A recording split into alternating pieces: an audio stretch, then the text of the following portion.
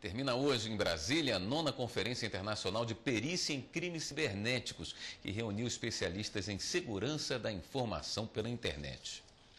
Na internet, todo mundo já sabe, as informações são trocadas numa velocidade impressionante. Em segundos, imagem, som ou texto podem ser transmitidos de uma pessoa para comunidades virtuais. E neste campo é bom abrir os olhos, porque todo cuidado é pouco.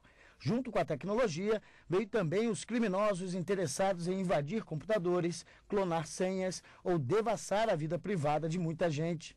Na maior parte das situações, a ação dos bandidos cibernéticos é facilitada pelos próprios usuários da rede. As pessoas precisam também saber que não é só, por exemplo, ter acesso a um computador ligado à internet, sair, uh, por exemplo, criando perfis nas redes sociais, acessando o seu banco né, de casa através do computador e não tomar as devidas precauções. Né? Então, no final das contas, todos os atores do processo têm que trabalhar para, enfim, você ter de fato uma segurança cibernética que a gente chama, né, que é a segurança na rede, né, o cuidado devido com as informações. Em Brasília, uma conferência internacional promovida pela Associação Brasileira de Especialistas em Alta Tecnologia reuniu diversos especialistas em segurança da informação pela internet.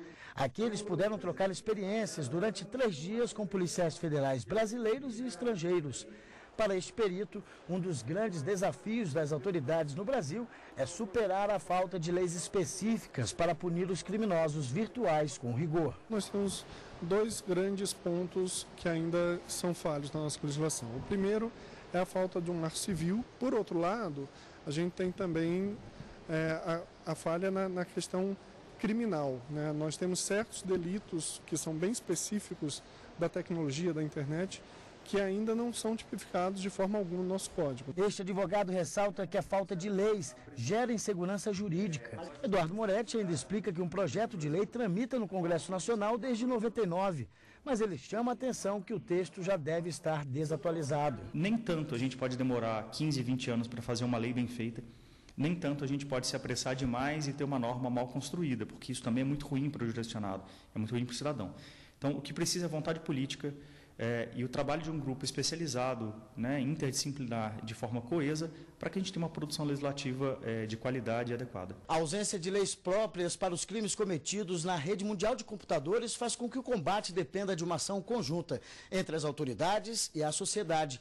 A denúncia, por exemplo, de páginas fora de padrões éticos ou de segurança é uma arma para pôr fim aos abusos. Este especialista e fundador de uma empresa de segurança de dados na internet conta que o principal pode ser a prevenção dos crimes cibernéticos. Mas a reação precisa ser rápida quando detectadas as invasões. A detecção dos problemas que aconteceram passando pela prevenção, porque alguma coisa vai pa passar, e a reação ao problema. Então não adianta você construir um muro e se virar de costas para ele. Se alguém pular o muro, você tem que perceber que esse muro foi pulado e você tem que saber que atitude você vai tomar.